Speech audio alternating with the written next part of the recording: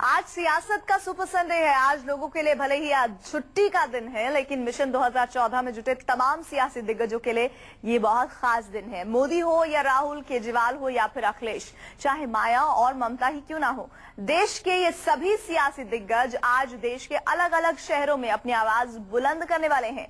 पंजाब में मोदी की फतेह रैली होगी तो देहरादून में राहुल पूर्व सैनिकों के बीच होंगे रोहतक में केजरीवाल मिशन 2014 का आगाज़ करने वाले हैं तो साइकिल पर सवार होकर अखिलेश दिल्ली के जंतर मंतर पहुँचने वाले वहीं जोधपुर में बात करें तो ममता अपने नेताओं के लिए वोट मांगेंगी तो मायावती मुंबई में गरजेंगी।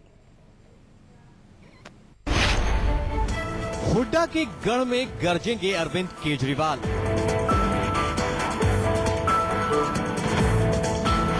हरियाणा से आपका चुनावी शंखनाद।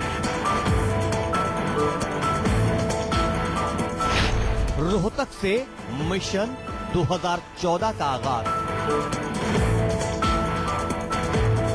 दिल्ली की चुनावी रैलियों में हज़ारों की भीड़ इकट्ठा कर दिल्ली की सत्ता पर काबिज होने और फिर अपने सियासी नफा नुकसान को देखते हुए जन लोकपाल के मुद्दे पर गद्दी छोड़ने वाले केजरीवाल की नज़र अब दिल्ली की उस गद्दी पर है जिसका रास्ता विधानसभा में नहीं, बल्कि संसद के गलियारों में जाकर खुलता है।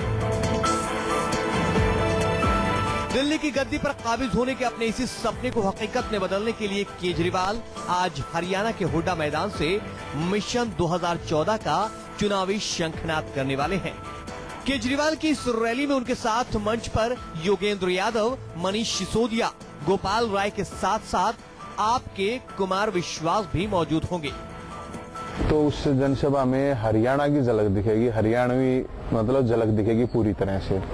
इसमें अरविंद केजरीवाल मनीष सिसोदिया कुमार विश्वास और पार्टी के शीर्ष नेतृत्व सभी होंगे।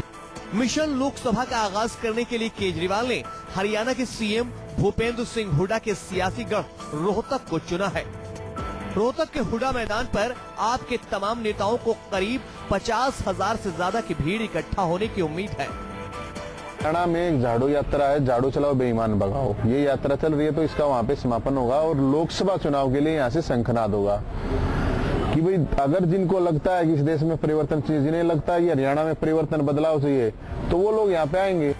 आयोजकों ने केजरीवाल की इस रैली में ज़्यादा से ज़्यादा भीड़ इकट्ठा करने के लिए जनसभा को हरियाणवी लुक देने के खास इंतज़ाम किए हैं। रैली में रागनी और तमाम तरह के सांस्कृतिक आयोजनों के भी इंतज़ाम किए गए हैं। साथ ही रैली में सुरक्षा के भी पुख्ता बंदोबस्त किए गए हैं।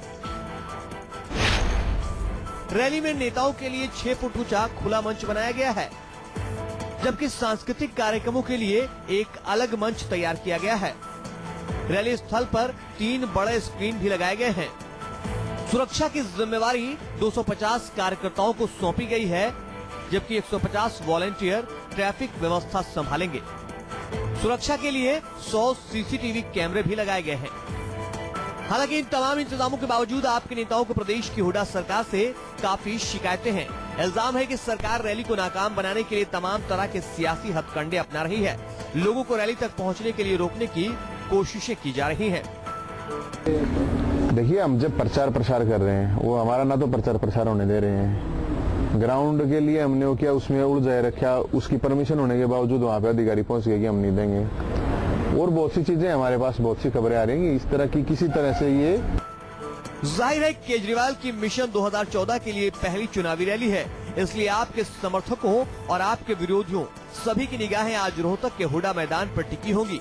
केजरीवाल की रैली में जुटने वाली भीड़ का आंकड़ा ही उनकी सियासत की नई पारी की, आगे की कहानी बयां करेगा। देवेंद्र कुमार, रोहतक, न्यूज़ 24